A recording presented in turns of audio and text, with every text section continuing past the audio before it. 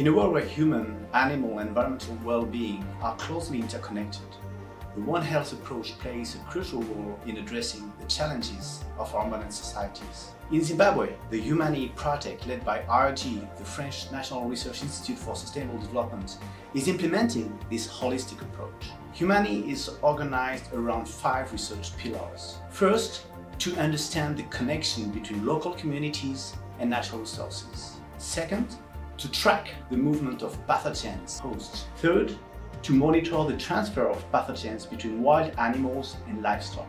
And finally, to build models on the evolution of these aspects according to different scenarios like biodiversity erosion and climate change. Humani also aims to create a lasting dialogue between the scientific community and civil society, making local needs a top priority.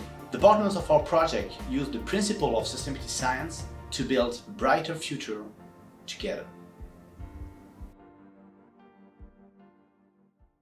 The project is uh, the fruits of a lot of partnership and interaction. We are very lucky to work in Zimbabwe because um, there are research that they are done with uh, French collaboration and Zimbabwean uh, uh, researchers since now 20 or 25 years, which is really important. We need to have this uh, long-term understanding of the functioning of an ecosystem and also trust of all our partners uh, to build um, really a project with different disciplines that try to communicate and uh, understanding each other and uh, and try to maybe transform or um, better understand the ecosystem.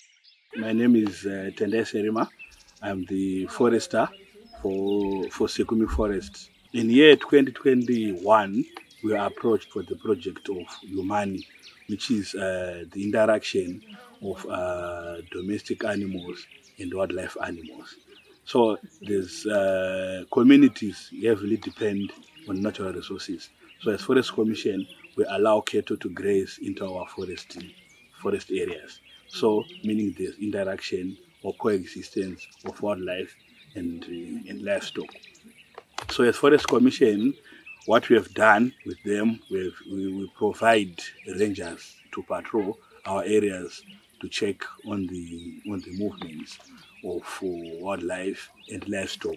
Currently, they have done 24-hour game counts within our, our forest area, and they have done capturing and collaring of buffaloes within within the forest areas, maybe to know the carriers or the pathogens which causes diseases to both humans and livestock. We have different um, stakeholders coming together to put input into the project to say, why not look at certain aspects in terms of what we will do um, on the on the on the protocol.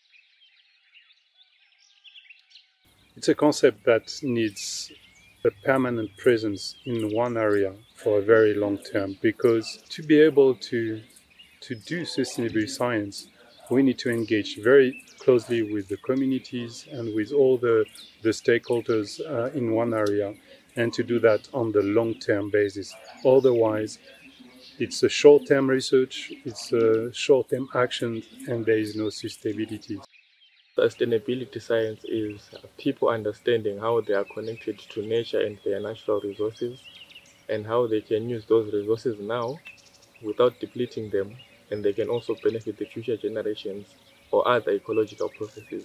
How to make sure that uh, the environment is sustained over a long period of time, both the human and the natural environment. What image we have of these systems, what different people uh, think about this system because everybody has its own truth and maybe the more complex thing is to acknowledge that there may be different perspectives, different understanding. The importance to promote scientific tools to address crucial questions of our centuries linked to biodiversity erosion, climate change or emergence of the future. How to carry on, how to have uh, adaptive uh, mechanisms that people have to persist in an ecosystem. Each year I have the feeling that we are adding a layer in a different um, approach.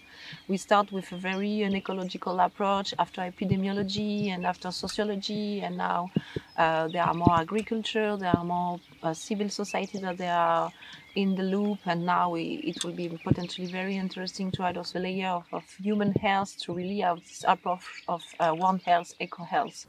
The Humanity Project illustrates how the health of humans, animals, and the environment are interconnected. This project, led by the French National Research Institute for Development and its international and local partners, is making significant strides toward a more resilient world where people and nature are respected. In fact, this example showed that sustainability science and sustainable solutions are possible. Solutions that consider the needs of society without over-exploitation. Solutions that bring together scientists, policy actors, and local communities.